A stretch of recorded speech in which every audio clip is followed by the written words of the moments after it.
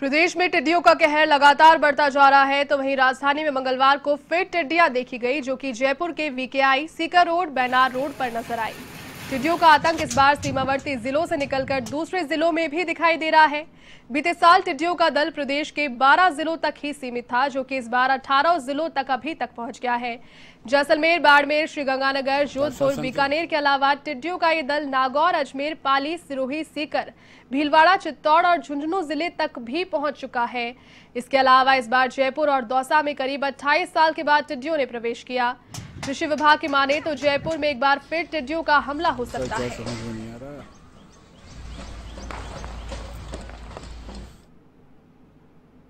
प्रशासन की घोर लापरवाही है। कब बोला था?